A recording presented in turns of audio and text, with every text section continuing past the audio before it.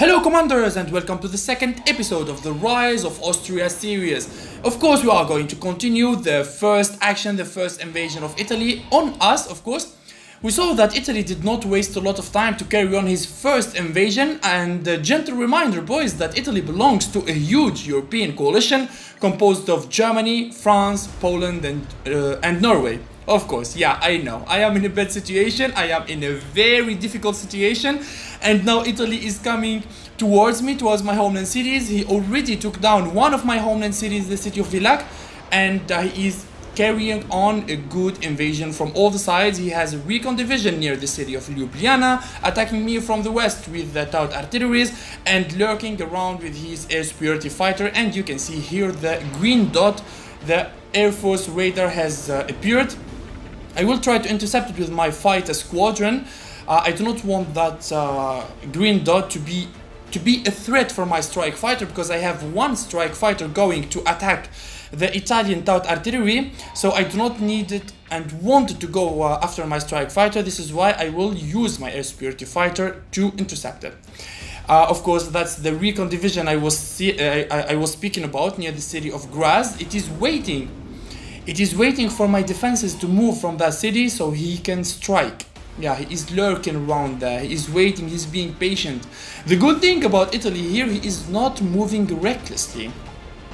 I like this about him because uh, most of the games uh, with uh, new players, I don't know, in all of the pub maps, in the beginning, players start throwing everything at their enemies recklessly like that. Scattered units, scattered recon divisions, scattered I don't know, they start throwing everything on their enemy. But here I noticed that Italy is moving smartly and slowly because I can see that he is waiting for his recon division there. That recon division is 100% is going to be headed to the capital Vienna.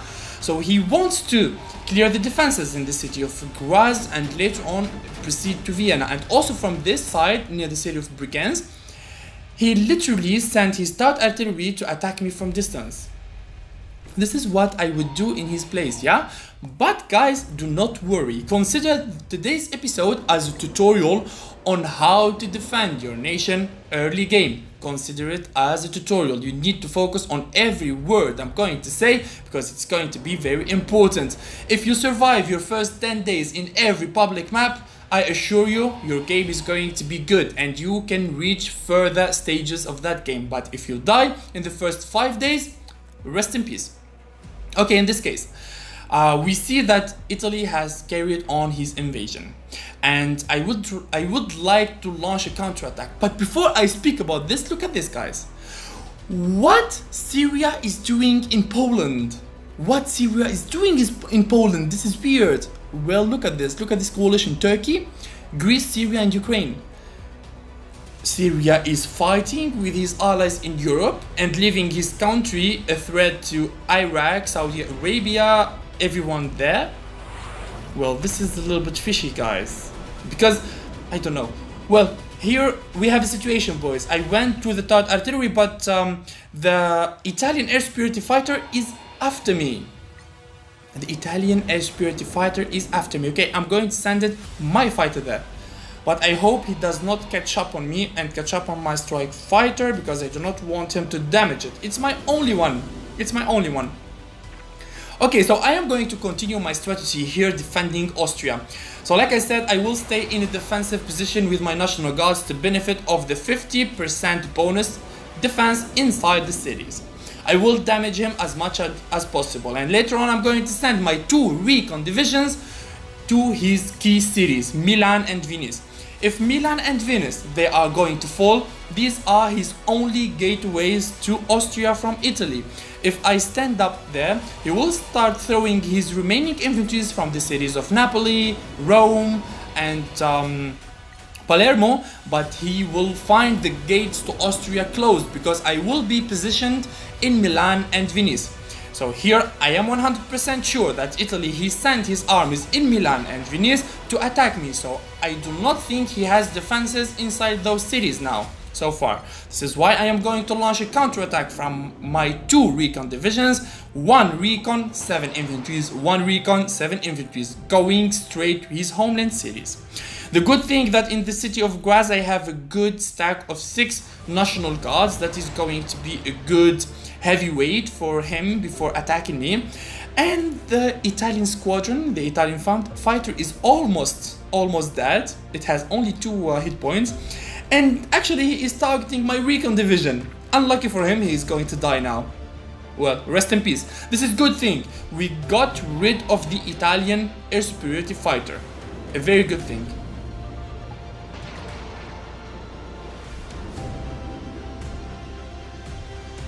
I'm trying to uh, build uh, a military hospital in my capital Vienna to be able to heal my aircraft.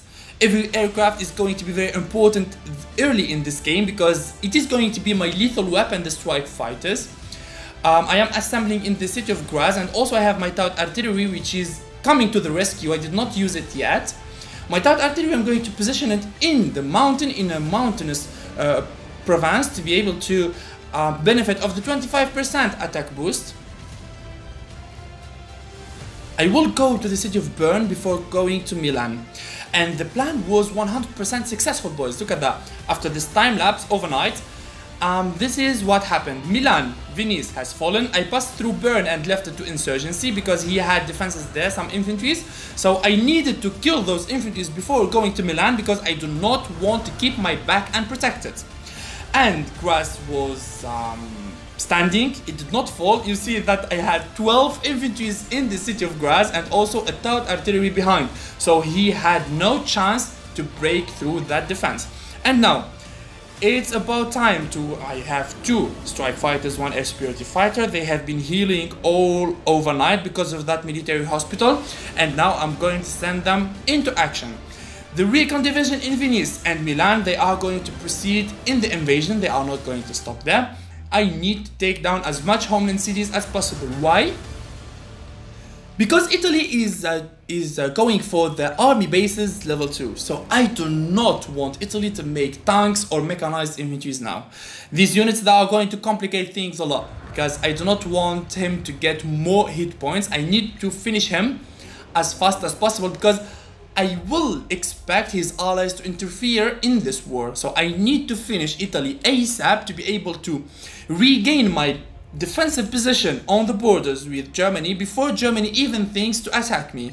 This is very important boys. I do not and I should not lose so much time in the invasion of Italy because I will keep my back exposed to Germany because now if Germany decides to attack me, I will be having only my strike fighters to defend myself. Well, Strike fighters, they are going to be enough. They are going to be very lethal and good early game if he does not have uh, air superiority fighters. But let's keep the high hopes, boys. Let's keep the high hopes and we should uh, hope that Germany is not going to interfere yet in this war. The good thing that Poland is finding a lot of problems. Like I said, the coalition of Ukraine, Greece, uh, Syria and um, there are already invading all of Poland that are attacking him, so I should not expect any dangers, any threats from Poland. The only thing is going to disturb me a little bit is Germany. Also, France has some problems with the United Kingdom. So, uh, I think the conditions of this coalition, they are going to my favor because I do not think that Germany is going to be bold enough now to move for his allies because all of his allies that are finding problems. All of his allies they have problems. You see France has lost Paris uh, Poland has lost Warsaw uh, Italy has lost Rome as Rome now is under the rule of the Austrian Empire and Germany is the lone wolf there. And I think after I finish Italy I will go after him. I will go after him. We will see what will happen. But it is going very good for us. Yeah, the only inconvenience that I lost my only component city, of course I got it back, but we shall see how we are going to manage our resources production in the upcoming episode. Thank you guys for watching today's episode and we meet in the next one. Let's shout to the Austrian Empire to be great again. See you guys and bye bye.